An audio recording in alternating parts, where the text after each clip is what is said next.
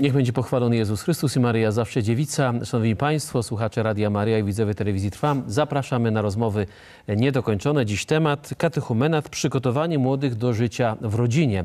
W naszym studiu gości, jak zapowiadaliśmy, jest to pan Krzysztof Jankowski, doradca życia rodzinnego. Witam serdecznie. Witam serdecznie, szczęść Boże. Jest z nami pani Agnieszka Frydrych, również jest doradcą życia rodzinnego. Szczęść Boże pani. Szczęść Boże. Jest z nami ksiądz biskup y, Stanisław Stefanek, członek Rady Konferencji Episkopatu Polski do spraw rodziny. Witamy, ekscelencjo. Szczęść Boże. Cieszymy się bardzo, że ksiądz biskup też przyjął zaproszenie. I nie tylko zmobilizował towarzystwo. A to dobrze, to dobrze. I ksiądz Jacek Kotowski, duszpasterz rodzin diecezji łomżyńskiej. Szczęść Boże, księdzu. Szczęść Boże, Ojcze. Y, Tak może y, coś więcej spróbujemy o sobie powiedzieć. Mamy mówić o rodzinie, o przygotowaniu młodych do rodziny. Może nie, od niewiasty rozpoczniemy. Y, Pani ma rodzinę? Tak, jestem szczęśliwą żoną męża Jacka. Y, Od 22 lat jesteśmy małżeństwem. Mamy trójkę dzieci, mamy też wnuki. A jak to się stało, że pani y, stała się doradcą życia rodzinnego? E, Jakby to powiedzieć, od początku y, jakoś tak moje serce było bardzo blisko y, i narzeczonych, i małżonków. I pomyślałam sobie, że swoim doświadczeniem mogę się dzielić, ale też mogę czerpać od tych, którzy przychodzą. I, i Czyli nie tylko my pomagamy i uczymy, tak, ale my się też uczymy sami. oczywiście jak najbardziej. Y, Panie Krzysztofie, pana y, małżeństwo, rodzina. E, Również w małżeństwie lat 15, e, czterech synów i też e, mogę powiedzieć, że od początku właściwie naszego e, bycia e, małżeństwem razem właśnie z Kasią, e, jakoś taką wspólną dziedziną, która nas od początku łączyła, było pochylenie się nad małżeństwem. Wiadomo, że najpierw własnym, bo nieustannie trzeba się formować i wzrastać właśnie w takim duchu ewangelicznym, ale od razu była też, to, to był taki łącznik, który nas orientował w stosunku do tych małżeństw, które poszukiwały pomocy, no i też narzeczonych, których przygotowujemy do A małżeństwa. być doradcą to prosta sprawa dla mężczyzny? E, Ja myślę, że ona przede wszystkim pokazuje, em, odkrywa przede mną moją własną tożsamość. Co to znaczy być mężczyzną, co to znaczy być on to mężem. weryfikuje ojcem. swoje życie, Zdecydowanie, zdecydowanie. Nie, to jest takie patrzenie właśnie w przyszłość e, i też e, jakby nieustannie, no tak jak papież Franciszek niegdyś powiedział, że towarzyszyć e, młodym to jest właśnie przejść tymi śladami, którymi oni idą, prawda? Żeby móc cokolwiek wcześniej, później móc pokazać, czy e, komuś zaproponować jakieś rozwiązanie. No i przynajmniej staramy się na tyle, na ile nam e, i czas, i nasze, nasze posługi inne pozwalają właśnie pochylać się nad małżeństwem, nad rodziną. Dziękuję. Księże Jacku, każdy kapłan jest duszpasterzem. To funkcja czymś nadzwyczajnym jest, jeżeli chodzi o diecezję, o pracę. E, No, zaraz może po biskupie, bo pierwszym duszpasterzem rodziny w każdej decyzji to jest zawsze pasterz, jest biskup, a później ksiądz, który z jego ramienia małżeństwom służy. E, Od ośmiu lat w sumie ojcze małżeństwom służy jako duszpasterz rodziny, a to z polecenia jeszcze biskupa Stanisława, który mi kiedyś wytłumaczył, że będzie mi się łatwiej zbawić, jak chociaż jednemu małżeństwu w życiu pomogę. Taki był argument księży. Taki był argument i wystarczył, żeby podjął Żeby przekonać. No ale ja- jaki, i- jaki można powiedzieć, ważki, e, tak, no bo o, o zbawienie chodzi też, no i jest- żeby nasze życie miało też sens i uzasadnienie. Tak, a jest to też sprawa y, i trudna, i prosta, kiedy pomagają tacy małżonkowie jak ci, którzy są z nami, bo są nie tylko doradcami, ale są też taką, można powiedzieć, radą programową, czyli pytamy w najpierw małżonków, co chcą, a później pomagam, im pomagamy i służymy pomocą, żeby to, co robimy, rzeczywiście służyło budowaniu szczęśliwych i trwałych A małżeństw jak i to rodzin. właśnie wygląda w takich stru- strukturach diecezjalnych? Bo takich doradców mamy rozumieć jest y, więcej E, niż Tak, dwie osoby, tak? Oczywiście i poradni jest około 50 i doradców jest około 70, czyli są to spore liczby y, osób, które są zaangażowane. Czyli diecezja dba, żeby to prawie było nawet wyciągnięcie ręki, tak? Y, Tak, bo 183 parafie w tej chwili w naszej diecezji, natomiast poradni jest 70, ale ciągle przygotowujemy nowych ludzi, żeby dostęp do doradcy życia rodzinnego czy do poradnictwa był po prostu łatwiejszy y, i, i bardziej no, przystępny. Dziękuję. Ekscelencjo, ksiądz biskup zawsze jest związany, czy od zawsze, jak tylko wiemy. Yy, Pamiętamy z anteny Radia Maryja, telewizji i z tej posługi, którą ksiądz yy, biskup podejmuje yy, w diecezji. I, I znacznie wcześniej jeszcze, prawda, bo Szczecin, I Instytut, Poznań. tak, i, wcześniej tak, Poznań, Instytut później To studiów nad rodziną. Mój klasztor mnie y, y, w ten sposób uformował, że zacząłem od Biblii. Y, Kazano mi uczyć się o człowieku, czyli antropologię biblijną i tam spotkałem człowieka w małżeństwie, Adama i Ewę. I od tamtej pory już cały czas antropologia moja biblijna, nawet wtedy, kiedy głębiej do proroków sięgałem, zawsze odnosiła się do, do relacji rodzina, małżeństwo, mężczyzna, kobieta i tak.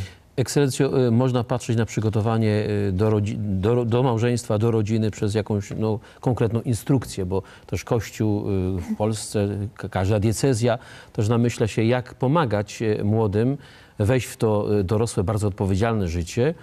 A my dziś mamy temat katechumenat, przygotowanie młodych do życia w rodzinie. Czy to jest jakaś różnica, czy na czymś planujemy to osadzić? Bo to też konkretna propozycja dziś dla słuchaczy i widzów. To jest w pewnym wymiarze nowa nazwa, oczywiście uszczegółowiona zwłaszcza przez y, ostatnie wypowiedzi Ojca Świętego Franciszka, e, ale ona jest głęboko zakorzeniona w tradycji Kościoła, bo katechumenat to jest przygotowanie dorosłego człowieka do przyjęcia sakramentu Chrztu Świętego, a więc wejścia w najbliższą więź z Bogiem, przeniesiono tę nazwę, która odnosiła się tylko wprost do y, przygotowania do sakramentu Chrztu Świętego, przeniesiono na przygotowanie do sakramentu małżeństwa.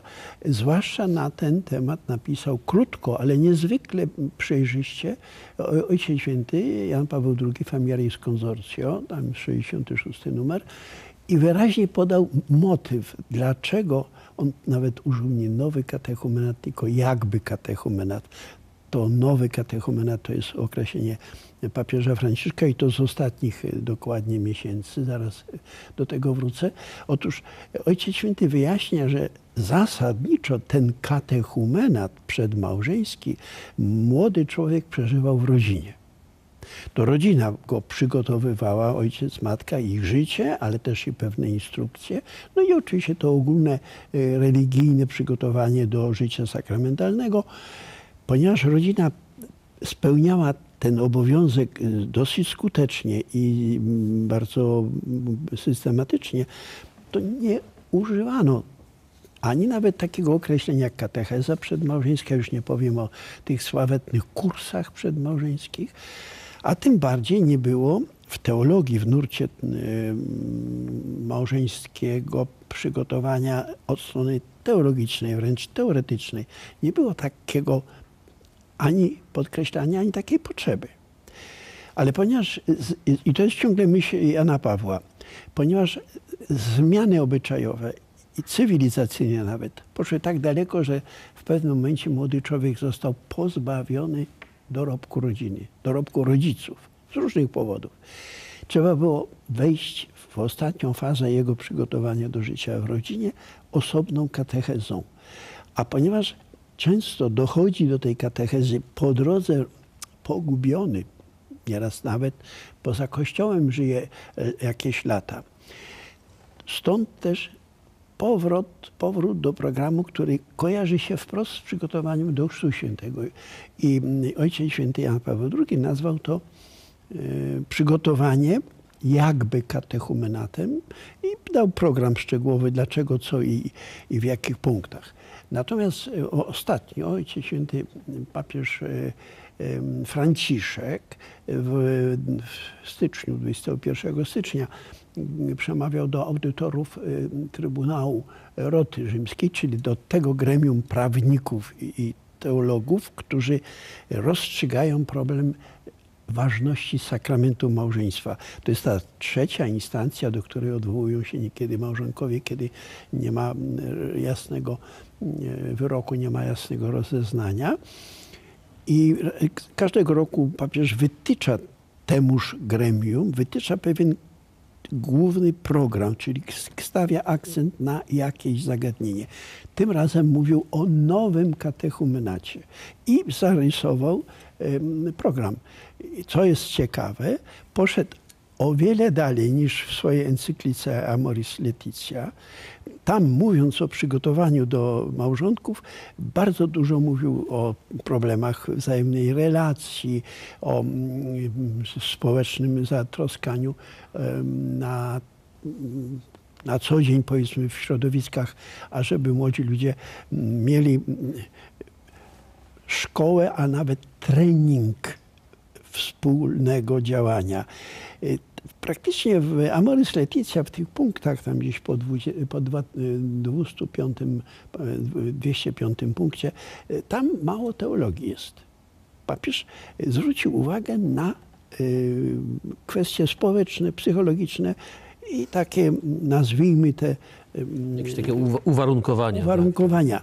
Natomiast gdy powiedział, e, gdy mówił do tych m, audytorów, e, to wyraźnie powiedział, że trzeba odbudować więź między wiarą a małżeństwem.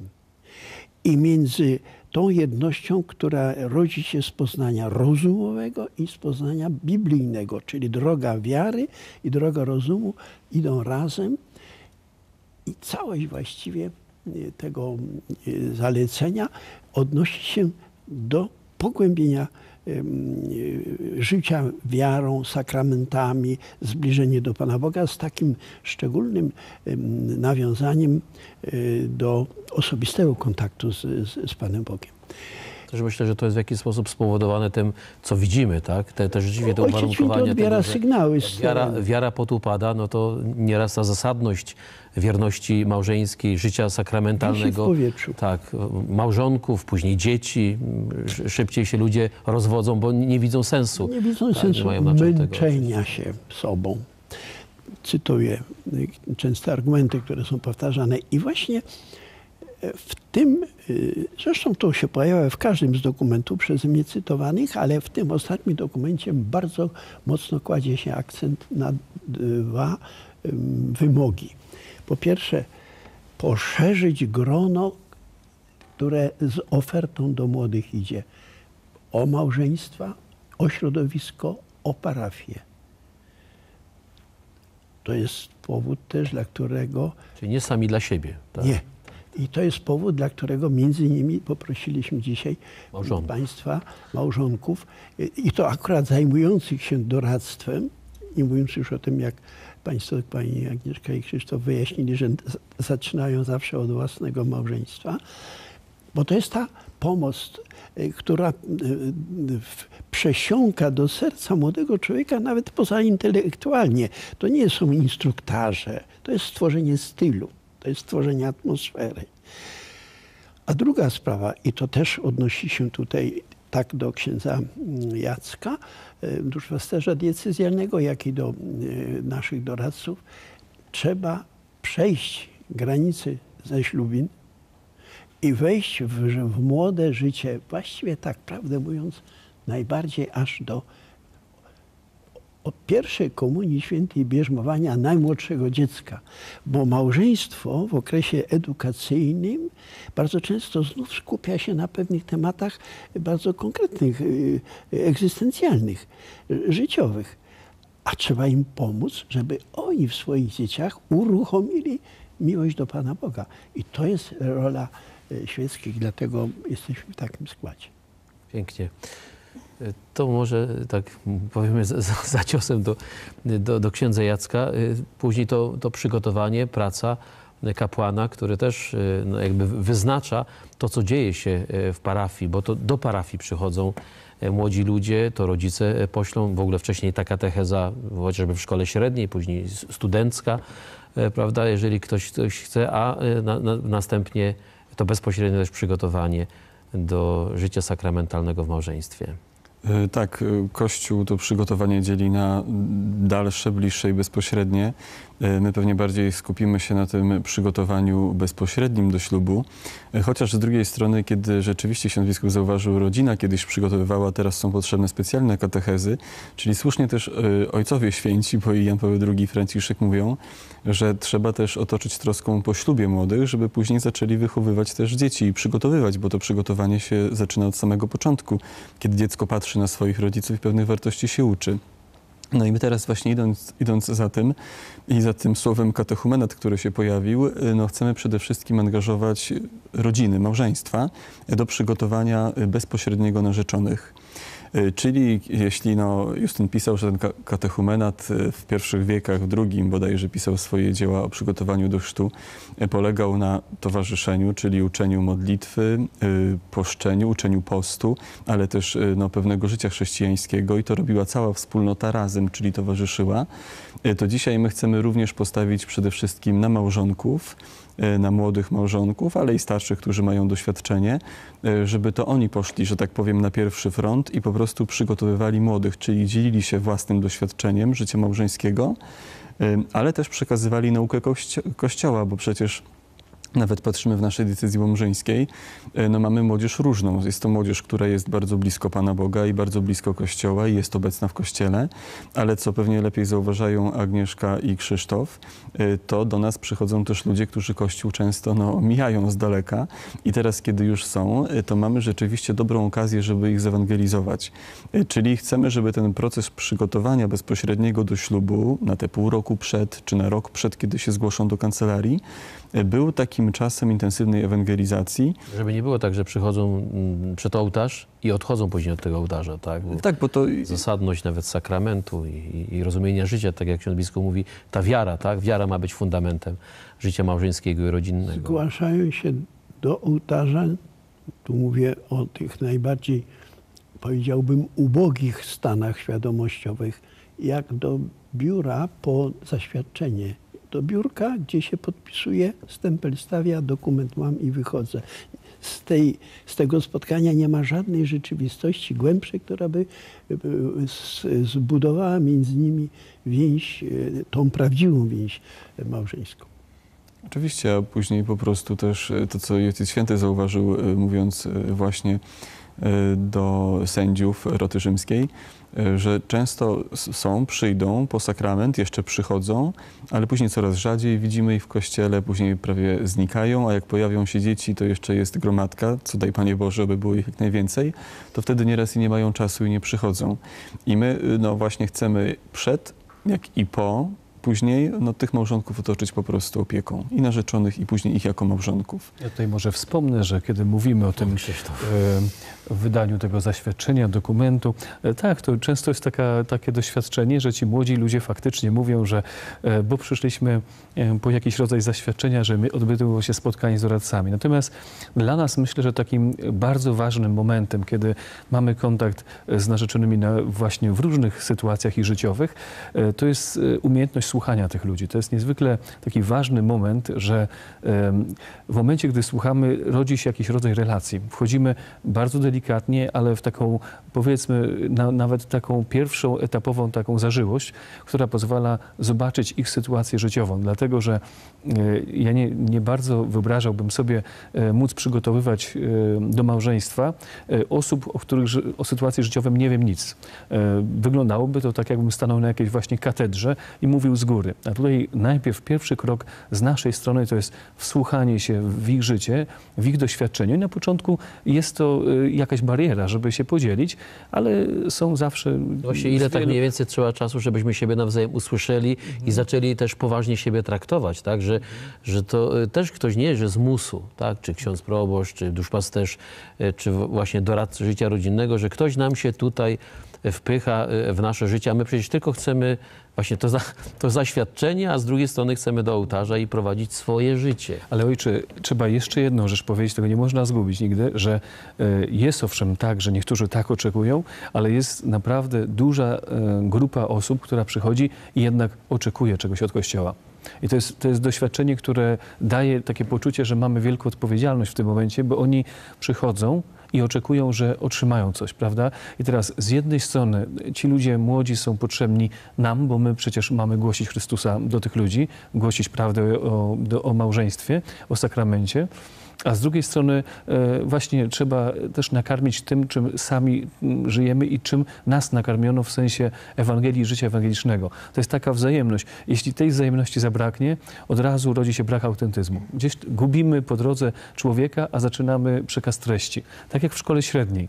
W szkole średniej nie polega tylko na przekazywaniu wiedzy, tylko na towarzyszeniu tym młodym ludziom w momencie, gdy oni zawierają pierwsze relacje, pierwsze znajomości, mają tru- pytania trudne w ich życiu się rodzą i my wtedy, gdy podajemy jakąś część wiedzy, przede wszystkim istniejemy jako ci, którzy towarzyszą. Tak, I to ma sens wtedy. Lepiej, gdy mogę się oprzeć na kimś, kto ma jakieś doświadczenie i tym doświadczeniem się dzieli. On nie mówi właśnie ex katedra, tak? Dokładnie. Do nas tak tylko jest. ja to przeżyłem, ja, ja żyję jako mąż, jako ojciec, prawda? W Pracuję. katechezie sprawdzianem jest to, gdy młodzi pytają.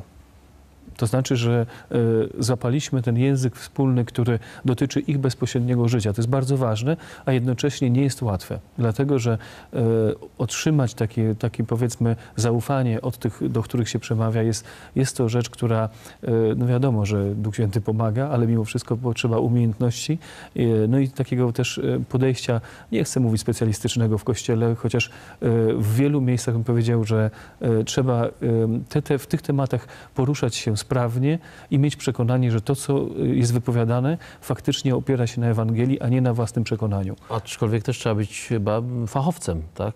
Mhm. Tego się, jeżeli, tak jak pan mówi, no młodzi ludzie się, czy w ogóle ktoś, kto do nas przychodzi, spodziewa się tego, że ja nie będę mu tam opowiadał różnych y, rzeczy, tylko fachowo podejdę do niego, tym samym poważnie. Młodzi mają taki, taki, taką, można powiedzieć, weryfikację, że czy to, co my mówimy, się sprawdza. To jest, to jest zawsze e, tak samo dzieci wobec rodziców, czy to, co głosimy i jak żyjemy, czy to się sprawdza. Jeśli się sprawdza, e, chętnie to podejmują. Jeśli widzą, że w tym jest jakaś e, nieszczelność tak, między przekazem słownym, a tym, jak życie wygląda, to znaczy, że jesteśmy z innej planety. Musi być styczność. Dziękuję. Krzysiu, Pani Agnieszko, mhm, tak. tak. Krzysztof, powiedziałeś o momencie słuchania, natomiast ja bym podkreśliła tutaj moment poświęcenia czasu tym ludziom. Takim pierwszym y, momentem spotkania to jest telefon, który y, młodzi wykonują do nas. I y, już przez telefon, tak jakby, Na taką rozmowę trzeba się umówić, tak? Można się umówić. tak, i dysponujemy wtedy czasem, tak? I chodzi o to, żeby nie być urzędnikiem, tylko człowiekiem, czyli z wielką taką miłością i radością do tych ludzi przy, wyjść, żeby oni zechcieli przyjść. A wtedy, kiedy przyjdą i wtedy, kiedy już y, zaoferujemy im konkretny czas, no to wtedy okazuje się to, co powiedział Krzysztof, tak? Jest ten moment słuchania, jest ten moment y, relacji. I to jest właśnie bardzo piękne też.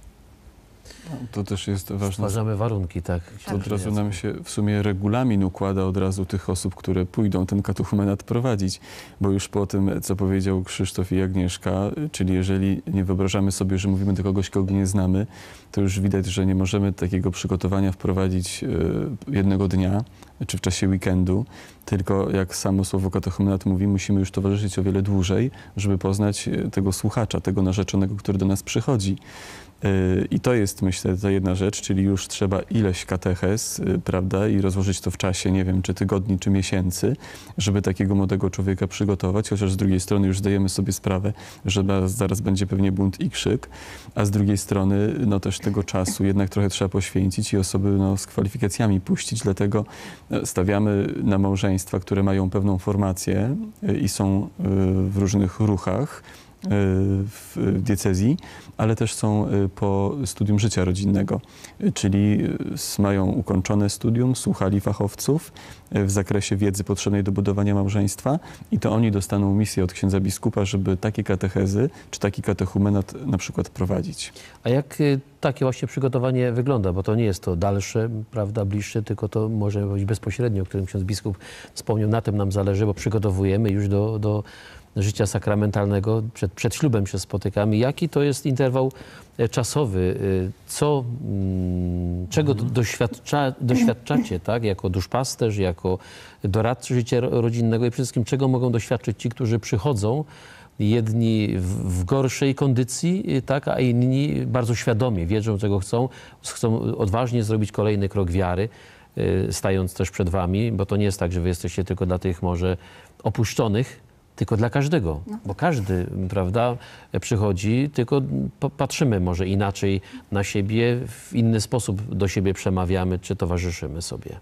Ojcze, my w tej chwili, e, jeśli mamy dzielić się naszym podwórkiem, e, to w tej chwili słuchamy uważnie tego, co mówi Ojciec Święty, a więc czytamy e, jego najnowszy dokument. Słuchamy tego, co i ksiądz biskup Stanisław nam ciągle podpowiada, bo z jego doświadczenia i wiedzy niesamowitej ciągle korzystamy. Natomiast my staramy się też y, badać na razie y, tak naszych narzeczonych, czyli konsultujemy y, to wszystko, co zamierzamy zrobić, bo jest to program, który przygotowujemy, czekając, że być może ukaże się jakiś ogólnopolski program, czy będą wskazania. Za chwilę mamy krajowe spotkanie duszpasterzy rodzin i doradców życia rodzinnego. Natomiast no, chcemy wypracować coś, co będzie przystępne, czyli zaproponować kilka różnych rozwiązań. Jeżeli chodzi o czas, no to chcemy zaproponować spotkanie roczne, czyli raz w miesiącu miesiącu spotkanie w Łomży w ramach Studium Życia Rodzinnego, gdzie tym narzeczonym proponujemy fachowców z całej Polski bo zapraszamy autorytety, jeśli chodzi o życie małżeńskie i rodzinne, ale też chcemy im zaplecze przygotować, czyli kawę, herbatę, żeby mogli śmiało w takich warunkach poznawać prawdę o małżeństwie i o rodzinie i czym jest w zamyśle Pana Boga małżeństwo. Natomiast no wiadomo, że nie wszyscy będą mogli sobie pozwolić na to, żeby raz w miesiącu czy przyjechać do Łomży, prawda, i z takiego sposobu przygotowania skorzystać.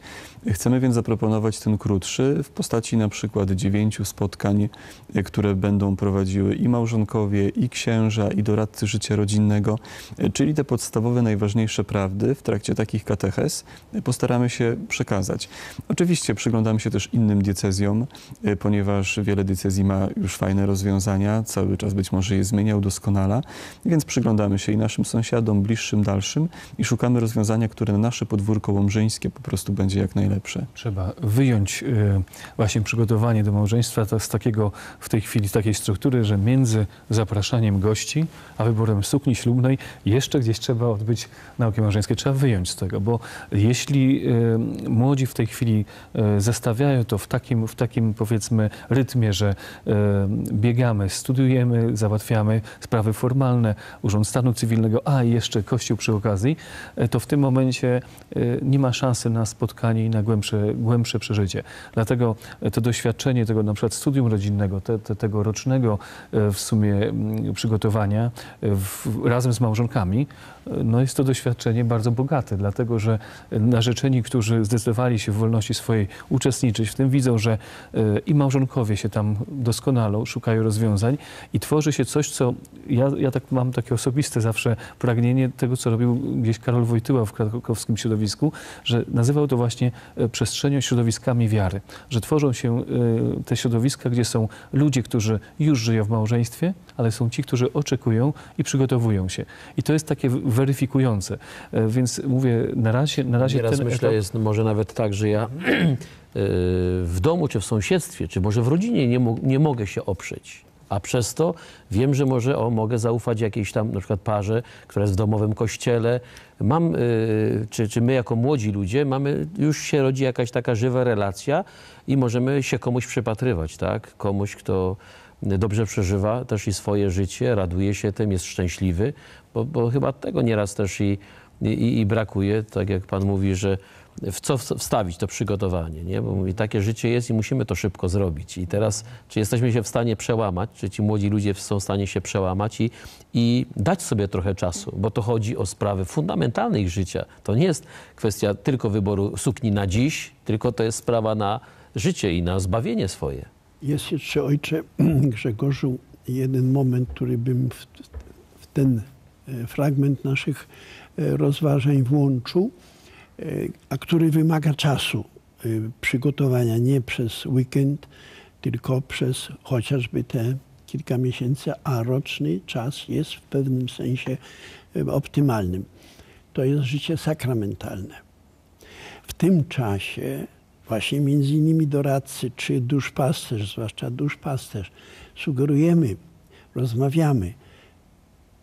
Co, co niedzielę nie tylko msza święta, komunia święta, regularna spowiedź. Czyli wejście, dlatego katechumenat, dlatego nowy katechumenat. On jest o tyle różny od tego z katechumenatu. Czyli nie prowadzi życia sakramentalnego już po sakramencie małżeństwa, tak tylko przed jako przed, yy, odświeżyć, i kobieta. Tak, tak, odświeżyć to wszystko, co yy,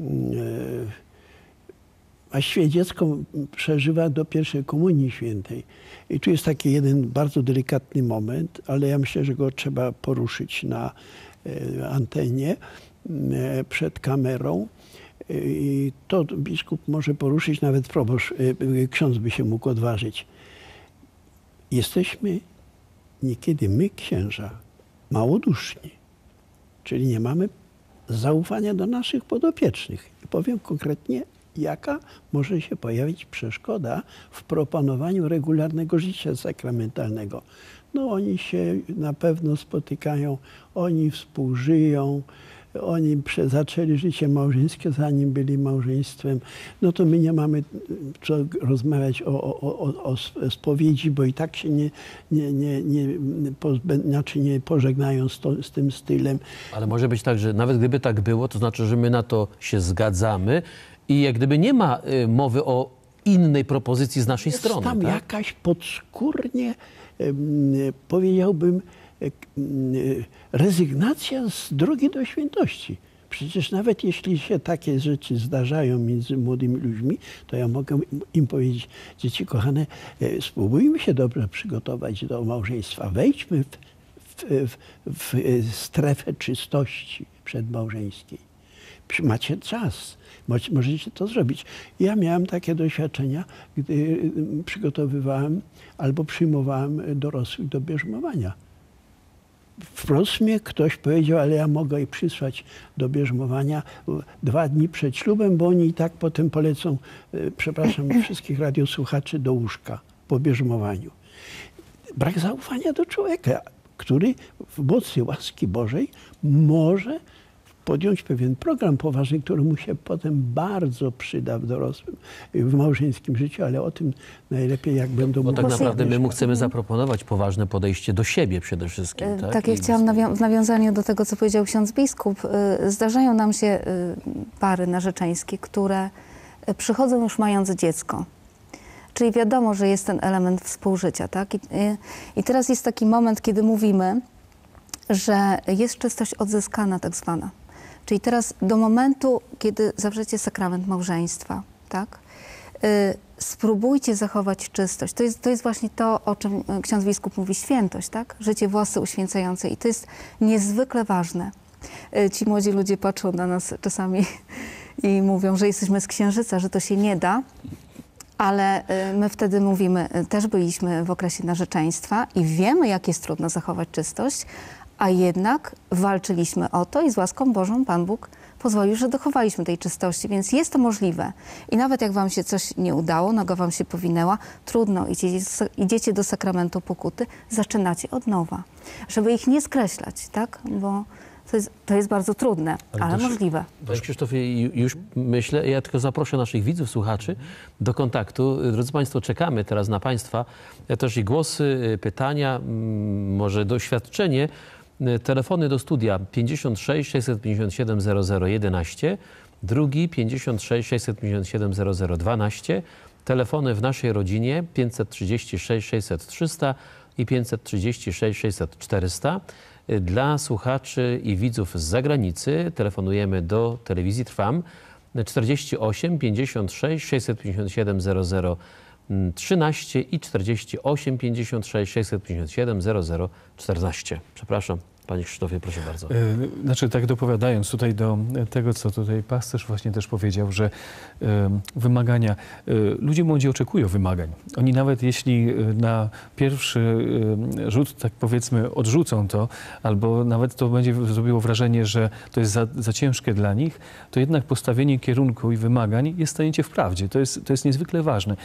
Czasami to powiedzenie, że wierność w małżeństwie nie rodzi się znikąd, tylko jest owocem czystości przedmałżeńskiej, jest, można powiedzieć, takim dzieckiem, które właśnie wykształciło się na bazie pewnego wstrzemięźliwości, powstrzymania pewnych odruchów, ale też takiego czegoś, co potem daje mi taką pewność, że moja męskość to nie jest automat. tak? że e, to, co ja w sobie noszę, jestem człowiekiem wolnym. I e, tu myślę, że taka właśnie rezygnacja z postawienia wymagań e, byłaby po pierwsze by nie trafiona, a drugie by się bardzo rozbiegła z Ewangelią.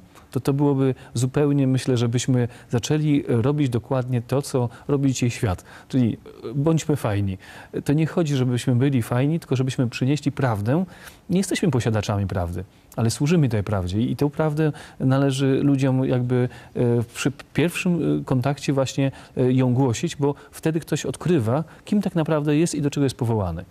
Ale Dziękuję. to nawet umniejsza, myślę, wielkości sakramentu małżeństwa, jeżeli my rezygnujemy z przygotowania. Pamiętam kiedyś papież Benedykt XVI powiedział, że to też chyba trochę księżom, znów powiem coś księży biskupie, księżom przygadam, ale mówił papież, że my często rezygnujemy ze stawiania wymagań i solidnego przygotowania, a później zbyt łatwo stwierdzamy nieważność małżeństwa. To też było chyba do pracowników roty rzymskiej, Tak, prawda? tak, tak. Też mówił to Benedykt XVI. Akurat w tej samej sytuacji, jak ostatnie przemówienie papieża Franciszka, dokładnie tak Ale sformułował. też, księże Jacku, my sobie musimy stawiać Oczywiście, ale proszę ojca, od siebie wymagać. Wtedy będziemy widzieli też zasadność tego, że inni też mogą spróbować. Tak, Tylko ja to mówię trochę w obronie też może naszej poniekąd, bo ja myślę, że z takim krzykiem pewnym się spotkamy i diecezja pewnie nie jedna się spotyka, kiedy stawia większe wymagania i roczny taki katechumenat do małżeństwa, y, czy miesięczny, kilkumiesięczny, to myślę, że młodzi często dzisiaj, no, mając mało czasu, może gdzieś tam narzekają, aczkolwiek wymagania są bardzo ważne, bo e, proszę e, zwrócić uwagę, że ja za czasów księdza biskupa Stanisława kończyłem seminarium i no, wprawdzie nie składałem podania o zaoczne studia, jeżeli chodzi o seminarium. Ksiądz biskup pewnie by mi na nie nie pozwolił.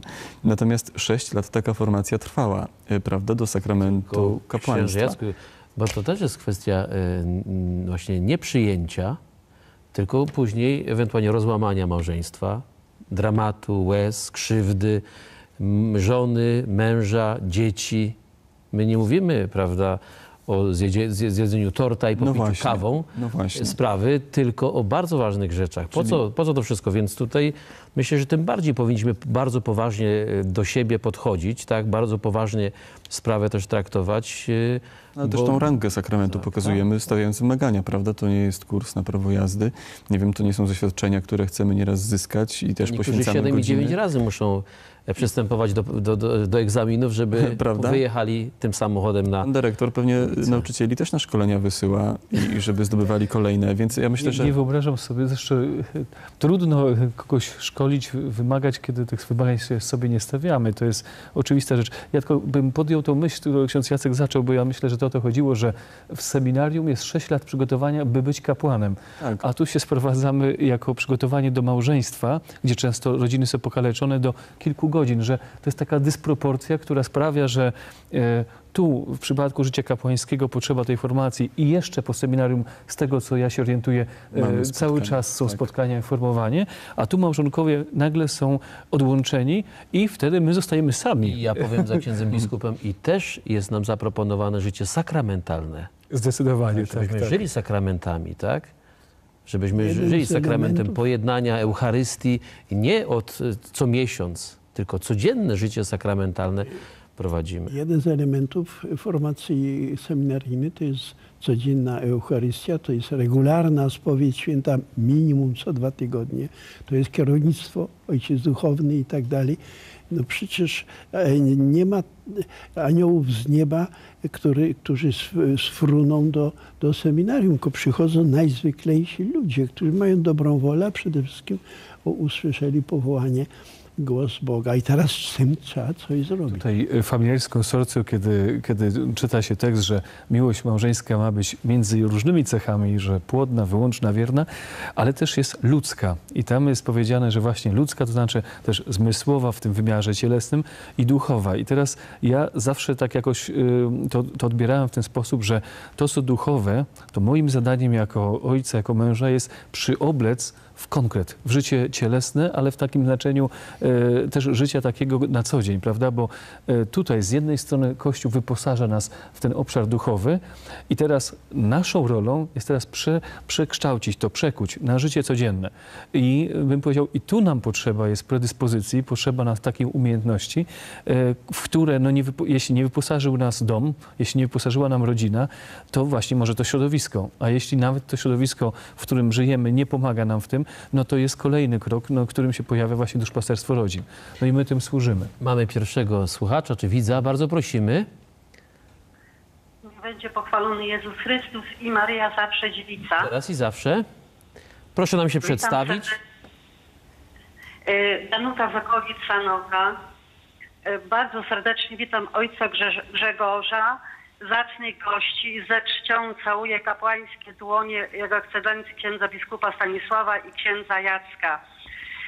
Y, Z ogromnym wzruszeniem słucham tej audycji i chciałam się podzielić świadectwem z własnego podwórka. Ja w małżeństwie żyję 28 lat i mówię to z ogromną radością i, i wdzięcznością Panu Bogu. Mój kochany mąż Jakubek to jest schodząca dobroć, to jest anioł. Ale nie spadło to wszystko z nieba, bo tak cudownie wychowali jego rodzice. I przekazuję to wszystkim małżeństwom. Y, Przede wszystkim najważniejsza jest wspólna modlitwa poranna i wieczorna. I wcale się nie, to znaczy to jest, patrzę na to z ogromnym przerażeniem, jak rozpadają się małżeństwa. Rozpadają się dlatego, że rodzice nie wymagają od dzieci. To jest przerażające, że rodzice pozwalają córce czy synowi żyć pod, pod jednym dachem bez ślubu kościelnego y, swoim dzieciom. Ja y, pragnę dać świadectwo, moja córka przed dwoma laty wyszła za mąż, a proszę sobie wyobrazić, miała 14,5 roku, gdzie się zakochała. Ja myślałam, że dostanę obłędu. Zawołałam, powiedziałam chłopakowi, pamiętaj, żebyś jej nie skrzywdził, bo to jest jeszcze dziecko, a miał 20 lat i przetrwali 6 lat i mówię, Asiu, pamiętaj, jeżeli zgrzeszycie przed ślubem, to są, może, mogą się wszyscy śmiać, ale ty, Tadziu, pójdziesz w cholewiakach do ślubu, ty pójdziesz w parcianej sukni i ślub przy bocznym ołtarzu. Bo pamiętajcie, że to, co, to, z czego mogą korzystać małżonkowie, to muszą mieć sakrament małżeństwa. Przypatrzcie się, czy którykolwiek kapłan odprawiam mszę świętą prymicyjną przed święceniami. I wy, jeżeli zjecie to, co się należy małże, małżonkom, to co będziecie mieć po ślubie? I- prowadziłam po prostu, tłumaczyłam, prosiłam, jeżeli nie pomogło, stawiałam sprawę na ostrzu noża. A mogłam o tym mówić śmiało, bo ja i mój kochany Jakubek stawaliśmy przed Panem Bogiem z czystym sercem, mogliśmy sobie śmiało patrzeć w oczy. I mimo, że przyszła, przy, były różne chwile, teraz już od dziewięciu lat jestem y, obdarzona cudowną chorobą, nie mogę się poruszać. I proszę wszystkich małżonków, wymagajcie od dzieci, nie gońcie za pieniądzem, za, za, tym, za, tym, no, za tymi dobrami materialnymi, bo pojedziecie za granicę, rodziny się rozpadają, dzieci są osierocone. I nigdy nie zapomnę katechezy naszego kochanego księdza proboszcza Kazimierza Goleni, który y, uczył mnie już, y, jak skończyłam szkołę podstawową, to były początki lat 80. I mówił zawsze nam tak, pamiętajcie, modlitwa jest w życiu najważniejsza. A ty, Danka, jak idziesz przez pola, to obmadlej to wszystko. Obmadlam do dzisiaj. I z całego serca dziękuję za tą cudowną audycję. Pozdrawiam. Nie wiem, gdzie nasz kochany ksiądz proboszcz się teraz obraca. Nie wiem, gdzie jest, ale pozdrawiam go z całego serca. Z całego serca dziękuję za tą cudowną audycję. Pozdrawiam wszystkich gorąco i i naprawdę najważniejsza jest wiara, wspólna modlitwa i jeżeli młodzi małżonkowie postawią na Pana Boga, jeżeli Pana Jezusa zaproszą do swojego życia, wszystko przetrwają. Wszystko przetrwają. Największe burze, największe kłopoty, największe cierpienia, wszystko jest niczym, bo Pan Jezus pomaga we wszystkim. Szczęść, szczęść Boże z całego Szczęść serca. i Boże, Pani Danuto. Pozdrowienia dla męża, dla dzieci, no i Jakuba. wytrwałości też, dla Jakuba, tak, dla Jakuba. Jakubka. Niech będzie dobrym y, y, przewodnikiem na wasze życie. Ekscelencjo, drodzy Państwo. Tutaj może ja słowo powiem do tej sytuacji, którą pani Danuta opisuje, bo dotyczy to wielu par dzisiaj, którzy em, zamieszkują przed ślubem, czy podejmują też em, powiedzmy współżycie małżeńskie. E, Jest taki, taki pewien e, fałsz ukryty w tym, że jak się poznamy. Ja e, często mówię, że nie od poznania zależy trwałość małżeństwa, bo znam małżeństwa, które się znają 30 lat, I, też y, znamy sytuację, że się rozchodzą, więc bardziej zależy od ich y, dojrzałości y, osobowej i tego, czy mogą złożyć deklaracje nieodwołalne. Benedykt XVI był taki moment, że powiedział bardzo wyraźnie, że dzisiejsze pokolenia mają poważny problem z deklaracjami na całe życie. I to jest rzecz, która jest niezwykle trudna w czasach, kiedy wszystko sz- dynamicznie się zmienia, że mogę zadeklarować, że jestem nieodwołalnym darem. I oni przed takim faktem stają. I myślę, że myślą w ten sposób, że gdy się poznamy, zrodzi się jakaś pewność. Y, Ja mówię, że z czegoś takiego rodzi się jedna pewność, że poznaliśmy to, że żyjemy bez zasad. To jest pierwsza wiedza, która jest bardzo gory, goryczkowata, taka bardzo, bym powiedział, taka surowa, bo e, to jest właśnie e, pewien taki mit powtarzany, że poznamy się, to będzie trwalsze małżeństwo. Nic bardziej mylnego, to nie o, nie o taki rodzaj poznania chodzi. E, I, I z drugiej strony właśnie można właśnie, żyjąc w wierności, pokazać, że no właśnie i dojrzale podchodzę do tego, co za chwilę zaistnieje, do sakramentu małżeństwa. Ale też bardzo, Dziecko. Pani Danuta powiedziała jeszcze jedną ważną rzecz. Jest Sanoka, więc jeśli się nie mylę, to diecezja przemyska, y, a tam są najzdrowsze tereny, najbardziej rozmodlone. Y, I też to jest pewna prawidłowość, jeśli chodzi o dane statystyczne. Proszę zwrócić uwagę, że w tamtym roku rozpadło się 64 tysiące małżeństw. To jest blisko 1 trzecia zawieranych każdego roku. Natomiast najwięcej y, rozwodów, rozejść się było na zachodzie Polski, a najmniej było na Podkarpaciu właśnie na wschodniej granicy Polski. To też się pokrywa z badaniami, które robi Kościół, jeżeli chodzi o tych, którzy chodzą w niedzielę na mszę świętą i przyjmują komunię świętą. Na Podkarpaciu jest, są ludzie najpobożniejsi, najwięcej komunikują, przyjmują Pana Jezusa. Tak samo jest na wschodzie. Czyli to też pokazuje tą pewną prawidłowość, o której Pani Danuta mówi. Im bliżej Pana Boga, im bliżej wartości wyższych, im więcej się modlę, to mam trwalsze małżeństwo, ale też mam siłę walczyć o jego trwanie, kiedy jest problem. I dlatego też, powtarzając o Pani Danucie, zachęcam naprawdę wszystkich młodych, żeby już w narzeczeństwie Pana Boga, Kościół i wspólną modlitwę traktowali właśnie jak najpoważniej, żeby zwrócić uwagę na tą wiarę mego narzeczonego czy mojej narzeczonej i na jej praktykowanie. To jest bardzo istotne i bardzo ważne. Pani Agnieszko, y, modlitwa w tym przygotowaniu, bo możemy mówić właśnie o tych sprawach ważnych, o, o czystości, o życiu sakramentalnym, a to nasze życie duchowe. Jak patrzą na to ci, którzy przychodzą? Tak, ja was. y, zanim odpowiem na to pytanie, to y, chciałam powiedzieć Pani Danusi, że jest takim ogromnym światłem, bo y, naprawdę bardzo ważna jest rola rodzica, żeby mówić prawdę swojemu dziecku. Jeżeli rzeczywiście błądzi, to żeby powiedzieć, a nie popychać jeszcze w tę stronę, gdzie nie trzeba. Natomiast jeżeli chodzi o modlitwę, y, relacja i kontakt z Panem Bogiem jest podstawą. No jeżeli, jeżeli nie, mm, nie uczę się modlitwy, jeżeli nie rozmawiam z Bogiem, to po prostu ten kontakt za, zaniknie, tak? I moja wiara przestanie się rozwijać. Tutaj y, też tak z łezką wokół trochę wspominam y, czas narzeczeństwa mój i mojego męża, kiedy y, właśnie zaczynaliśmy od modlitwy. Jeszcze tak nie, nie, sprecyzowali, nie sprecyzowaliśmy dokładnie, że będziemy ze Kto komu sobą. ma, ma, ma to zaproponować? Właśnie Nieraz ojcze, tak, tak się chcę powiedzieć, że, tak, że y, ja zaczęłam mówić mojemu mężowi o Panu Bogu, ale w pewnym momencie tak się zorientowałam, że chyba przesadzam trochę i powiedziałam, ja coś, czy ja przypadkiem y, nie mówię Ci za dużo Panu Bogu? On mówi, nie Agniecha, dawaj jeszcze, ja chcę.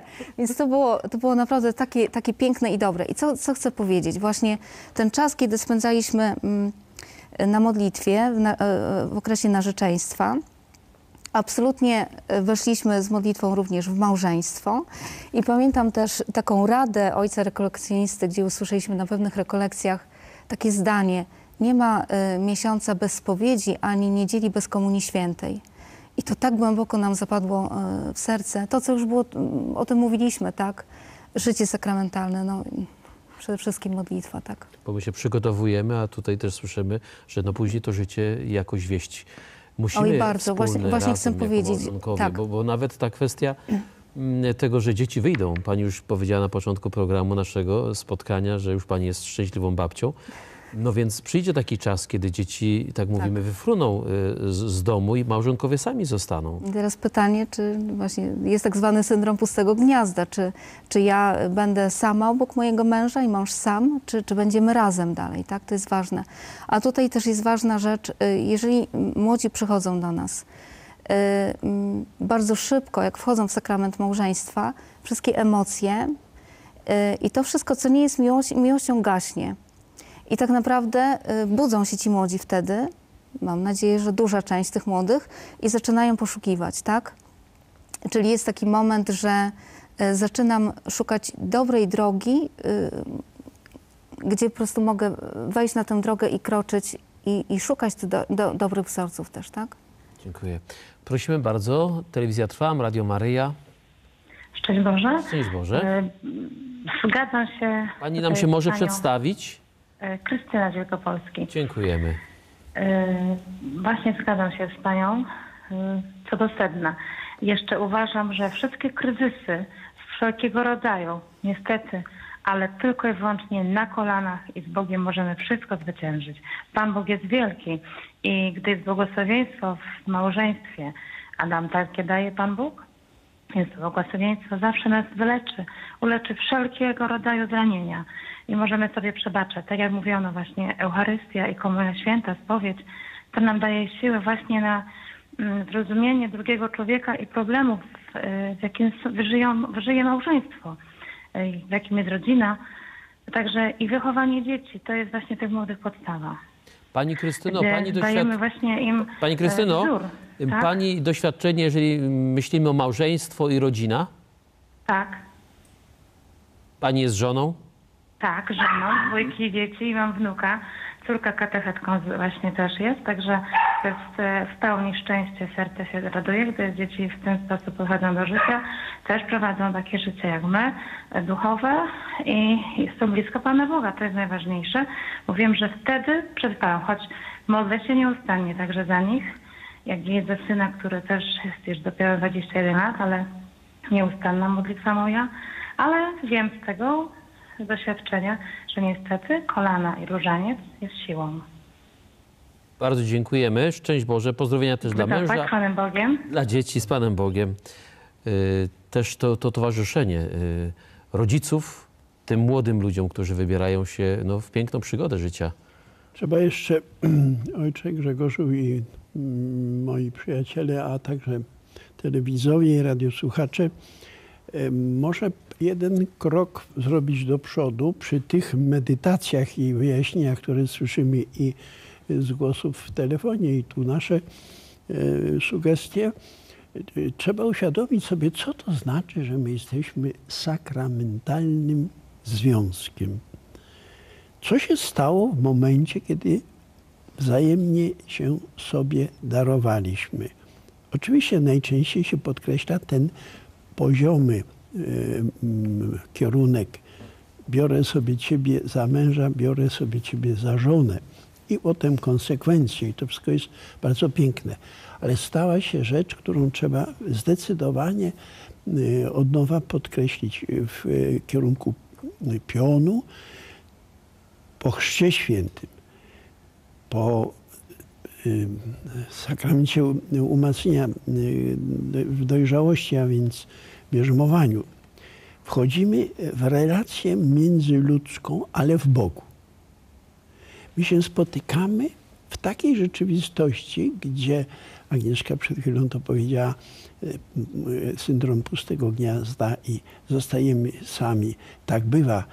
Ta strona emocjonalna jest tak mocna, że nagle nie mam dzieci, wnuki jeszcze nie przyjeżdżają, mąż idzie do pracy, ja idę do pracy, przychodzimy i, i nic poza tym, a właśnie, że wszystko poza tym, bo Bóg poza tym.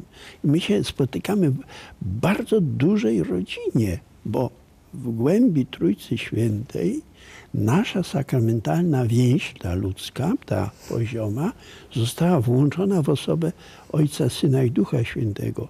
I dlatego ta modlitwa tak ważna, bo to jest wejście właśnie w najgłębszą więź z Bogiem. Y, Żeby nie potraktować modlitwy tylko czysto funkcjonalnie, a więc skupienie, przypomnienie sobie obowiązków, poproszenie o, o pomoc Boga, tak jakby on z zewnątrz stał.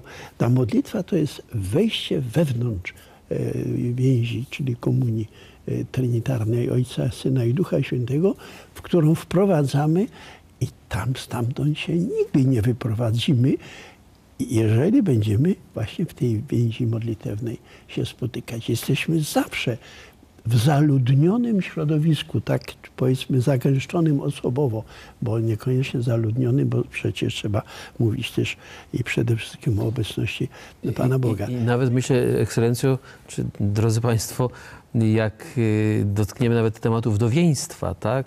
Wdowa, wdowiec zostają sami, tak? To już nie jest kwestia nawet tego pustego gniazda, ale ta więź duchowa z Bogiem pozwala nam, myślę, też z zupełnie inną perspektywą patrzeć nawet na to doświadczenie y, samotności, gdy przeszło się drogę życia wspólnego małżeńskiego i rodzinnego. Przeżywam w ostatnich y, właśnie miesiącach y, z moimi przyjaciółmi właśnie moment odejścia mamy. I widzę, że pojawia, pojawiają się nowe portrety małżonek sobie u, uświadamia obecność swojej żony. Jakieś filmy porządkuje, które robił, gdy ona żyła. Ja widzę z bliska, jak próbuje odzyskać tę osobę, swoją żonę, dla, dla dziecka też, bo dziecko wprawdzie już takie licealne, ale, ale bardzo to przeżywa. I nie trzeba aż tak, powiedziałbym, patrzeć katastroficznie, chociaż jest to niezwykle trudne doświadczenie. Zresztą, jak mówię, osobiście to przeżywałem, bo więzi przyjaźni mają swoje reguły. Nie odeszła Sylwia. Jest. Jest. I, tutaj dopiero widać dynamikę modlitwy. Dynamikę tego wszystkiego, co my nazywamy życiem duchowym. Dziękuję. Prosimy bardzo, przepraszam Panie Krzysztofie, prosimy bardzo, y, Telewizja Trwam, Radio Maryja. Niech, niech będzie pochwalony Jezus Chrystus. Na wieki wieków amen. Pani nam się przedstawi i prosimy o głos. Irena ze Sierpca. Prosimy. Ja żyłam z mężem 65 lat. I te, jakoś przeżyliśmy się, nie, nie, nie rozwodzili, wychowałam czworo dzieci, urodziłam pięcioro, jeden zmarł, miał trzy miesiące zaraz, po wojnie nie było na difteryt, to zachorował i dwie godziny już go nie było. I, I tak słucham nieraz, patrzę, że jak to teraz ten świat się przewraca do góry nogami. Że tego leci, już mu się nie podoba, już tego niech się spodoba przed, ma, przed ślubem, a dopiero do, domyśla się czegoś. A nie tak można żyć. A, po, a pospierać to się i, i nie pospierają i się, się pospiera, się, się przeprosi i, i się żyje nadal. I się żyło, zaraz po wojnie żyłam, na gospodarstwo się ożeniłam, że było zniszczone, Niemcy wszystko po, powywracali i trzeba było od zera się dorabiać i jakoś się żyło. A teraz to nie wiem, co te ludzie wymagają. Pani Ireno, bardzo dziękujemy y, za Pani głos. Y, Szczęść Boże. Szczęść Boże. Dziękujemy. Pani. Tak, ja chciałem jeszcze nawiązać do tego, co tutaj rozmawialiśmy właśnie wcześniej i o modlitwie, że tak, z jednej strony no, chciałbym też tak powiedzieć, e, że razem z moją małżonką, z Kasią, kiedy e, modlimy się, jest takie wsłuchiwanie się wzajemne e, w to, co my mówimy, ale też przedstawiamy Panu Bogu, bo to jest jakby te, te centrum i z dziećmi, to mogę powiedzieć, że wszystko, co dobrego zrodziło się w naszym życiu, to jakoś jest zakotwiczone właśnie w tej relacji z Panem Bogiem.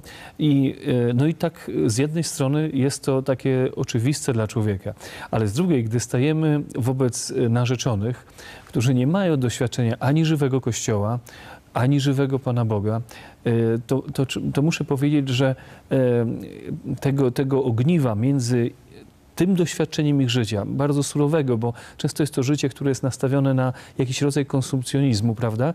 I z drugiej strony tego, co my chcemy przekazać, to brakuje tego ogniwka łączącego To jest ogniwko, które jest niezwykle ważne, bo e, też zewangelizować kogoś, to można podejść tak trochę przedmiotowo, tak, że ja jestem nastawiony, że człowieka chcę zewangelizować.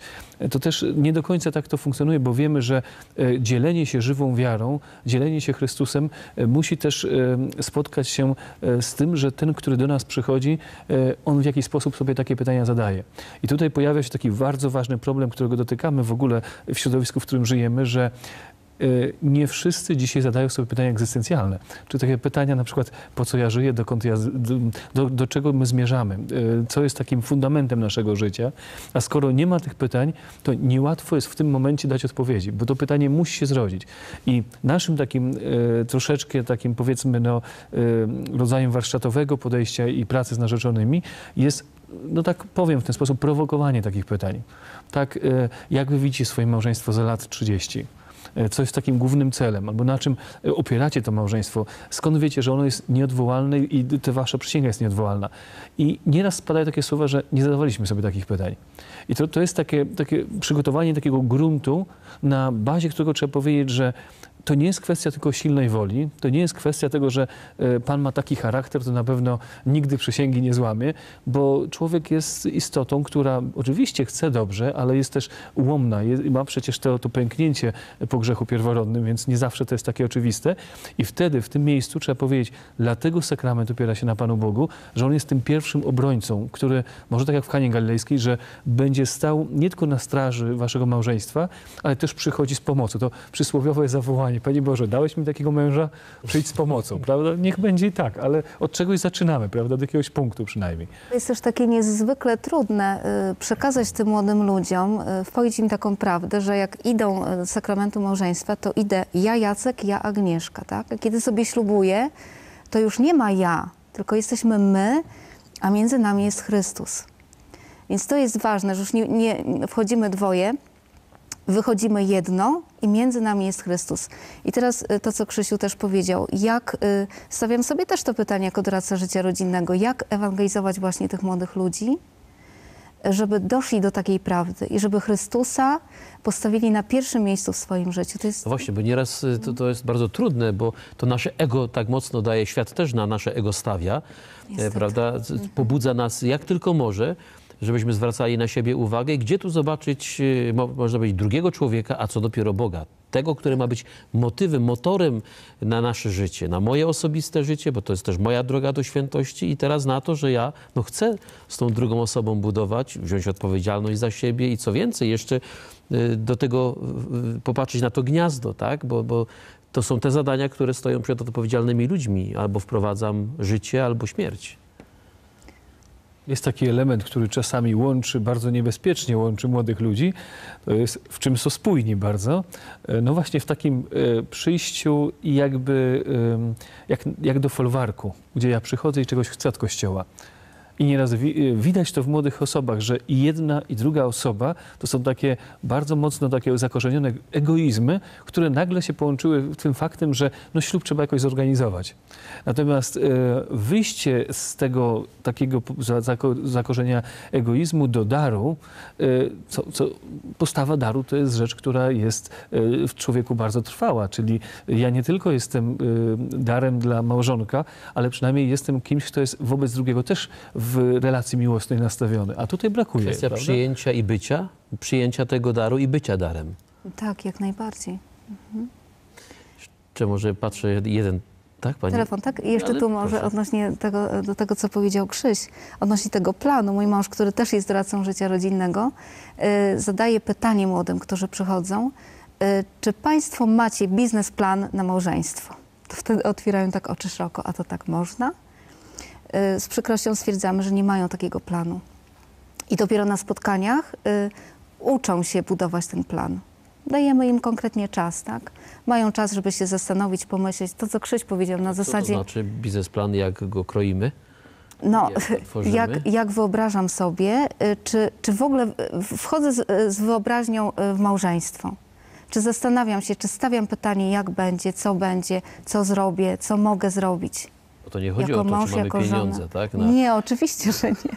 Chociaż kwestie finansowe oczywiście też są ważne, ale to absolutnie, bo powiedziałam biznesplan, tak, ale to, to są słowa mojego męża. Natomiast y, chodzi właśnie o to zaplanowanie, tak? No bo my też chcemy, żeby nam się, my, małżonkowie Tak. czy młodzi chcą, żeby im się powiodło. Jasne. To nie jest, że jesteśmy przegrani na początku. No, oczywiście, że tak. Ale Jacek, Agnieszko, nie jest daleki od nauczania. W jednym i w drugim tekście papieskim pojawia się pojęcie ekonomiki życia rodzinnego. I to nie jest ekonomika wyizolowana od relacji ludzkich, czyli Ekonomia zbawienia, zbawienia ekonomia zbawienia. Ale, ale y, to jest bardzo ciekawa rzecz, y, wkomponowanie tych prawideł, które rządzą ekonomię, ekonomią, ale w kontekst ludzki. Bo wielcy ekonomiści to oni mają zysk, inwestycje, zysk, inwestycje, ludzi tam nie ma. Tam nie ma ludzi. A w tym wypadku operujemy y, do- dobrami materialnymi, tworzymy je według zasad ekonomii, a jednak w każdym drobiazgu wkładamy też naszą y, osobę, serce, zainteresowanie. Sam fakt, że ja nie produkuję powiedzmy butów dla kogoś, tylko przynoszę e, posiłek dla żony, dla męża, dla dzieci. Od samego początku ta ekonomika życia rodzinnego jest personifikowana i to w konkretach. I to jest, e, to jest właśnie kapitalne. Dobrze, że ten biznesplan się pojawił. Ja pra- prawdę mówiąc, takiego pytania nie bym nie postawił, bo, bo nie miałbym odwagi. Pozdrowienia dla męża. Ale, ale tak, to, to jest Jacka, może nawet pomysł autorski. Po niecku tak dalej. Yy, prosimy bardzo. Telewizja Trwam i Radio Maryja. Cześć Boże, Szczęść Boże Pani. E, jestem z Małopolski, Maria. E, Dziękuję. Chciałam tutaj zwrócić się do księdza biskupa słowa, e, które na początku, bo nie słuchałam od początku, ale myślę, że to było na początku, że nie tylko ważne jest suknia i przygotowanie, ponieważ moja córka za miesiąc wychodzi za mąż i taka byłam zdenerwowana, bo jeszcze wybiera się na letnicę z, ma- z narzeczonym. I teraz mnie tak ksiądz biskup uspokoił, że jednak y, można jeszcze inne sprawy też, nie tylko suknia. Nie I tylko no można, ale trzeba, Pani Mario. Trzeba i tak bardzo się cieszę, uspokoiłam się, bo ja tak myślałam, że tyle spraw do załatwienia, a oni jeszcze wybierają się. I jeszcze chciałam powiedzieć do młodych ludzi, że nie, nie wszyscy są źli, ponieważ y, była tam w rodzinie gdzieś u chłopaka i tam mm, chcieli, żeby nocowała, a moja córka mówi y, tam do jakiejś cioci, bo ona mówi, teraz są inne czasy, że jakby to nie spać u chłopaka, a ona mówi, ale przykazania Boże się nie zmieniły. I tak uspokoiłam się, że mam nadzieję, że będą dobrym małżeństwem. Pozdrawiam, szczęść Boże. Bardzo dziękujemy. Szczęść Boże. Pani Mario, jeszcze z tą suknią taki maleńki przykład. Błogosławiłem małżeństwo na Rusinowej Polanie, właśnie troszkę niżej, tam w tej kaplicy u Dominikanów w Zakopanym. Ym, no To się nazywa Matka Boża Jaworzyńska. I oczywiście byliśmy wszyscy turystami. To znaczy mieliśmy strój od duchownego począwszy, przez parę młodą, wszyscy mieliśmy typowy górski strój. I ja tak cały czas myślę sobie, będzie suknia czy nie na, na, tam, na, tych, na już kaplicy u góry. Okazuje się, że pani młoda była tak y, sprawna, że w swoim plecaku miała skromniuteńką, a jednak białą suknię i wymusiła na swoim narzeczonym, że koszulę zmienił, krawat zapiął. Poradzili sobie. Te do, dodatki są bardzo łatwe do skompletowania. W powrocie z Lednicy wyprasuje co trzeba i, i, i będzie bardzo dobrze prezentować się przy A, ołtarzu. e, To jest też- najlepsza droga e, Tak, ja, ja myślę też o tym proponowaniu sobie, tak? Bo e, tak jak e, Państwa też doświadczenie, że e, pa- e, mąż powiedział, jeszcze narzeczony, tak, mów jak najwięcej, żeby właśnie też w tych młodych ludziach, czy którzy przygotowują do małżeństwa, ich pobudzać do tego, żeby nie bali się y, sobie składać takiej właśnie dobrej propozycji tego życia Bożego, życia sakramentalnego. Tak jak tutaj ta pani Maria powiedziała, moja córka mówi, a przykazania jeszcze nie obowiązują. Co z tego, że taki, choćby 90% ludzi łamało je, to nie znaczy, że my też mamy na to przystać. Nie? Natomiast też jest bardzo ważne, żeby ich zmusić w tym przygotowaniu, w tym katechumenacie, nad którym pracujemy, żeby ich zmusić po prostu do myślenia, bo często idą z takimi własnymi wyobrażeniami. Każdy ma swoje wyobrażenie małżeństwa, tego, co będzie robiła moja żona i mój mąż. I to nawet ojciec święty Franciszek zwraca uwagę właśnie w adhortacji swojej, że trzeba ich sprowokować, żeby oni to wypowiedzieli. Y, Czyli no, ja wyobrażam sobie, że ty jako żona będziesz y, funkcjonowała tak i tak, y, czy będziesz wyglądała tak i tak, że nasze małżeństwo to myślę, że to będzie taki program.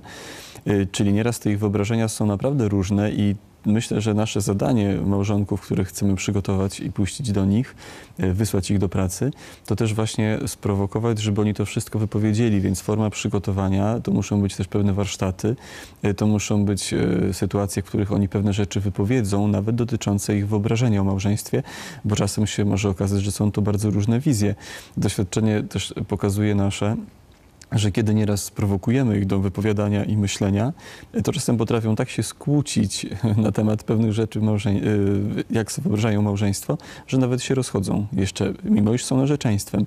Y, Czyli, y, no nie będę mówił, czy to jest to porażka, czy jest to Za sukces. całe szczęście właśnie. W każdym razie być, do, być może dobrze, że teraz to sobie wypowiedzieli, prawda? Bo później to nawet, co pani Irena powiedziała, tyle lat w małżeństwie, gratulujemy i że kłócili się nieraz, sprzeczali się nieraz, ale co pamiętali, że małżeństwo święte i nierozerwalne, prawda? I możemy się o wszystkie rzeczy umawiać, kłócić i dyskutować o wszystkim w małżeństwie, ale pod wątpliwość nie poddajemy trwania razem, nierozerwalności małżeństwa. I to też, myślę, nasze zadanie, żeby im to wytłumaczyć, prawda? Że święte, nierozerwalne do końca, a poglądy to możecie mieć naprawdę na wiele rzeczy różne. Bardzo dziękujemy Wam za e, spotkanie, za rozmowy. Dziękujemy również. Byli z nami e, pani Agnieszka Frydrych, dziękuję. Dziękuję serdecznie. Pan Krzysztof Jankowski, dziękuję. Ksiądz Jacek Kot- e, Kotowski. Dziękuję bardzo. I ksiądz biskup Stanisław Stefanek. Ekscelencjo, Bardzo bardzo dziękujemy. Również moim przyjaciołom. Że Pofatygowali się. Niech tak będzie dalej. E, Drodzy Państwo, bardzo dziękujemy za uwagę, dziękujemy za telefony, za to, że byliście razem z nami. Niech będzie pochwalony Jezus Chrystus i Maria, zawsze dziewica.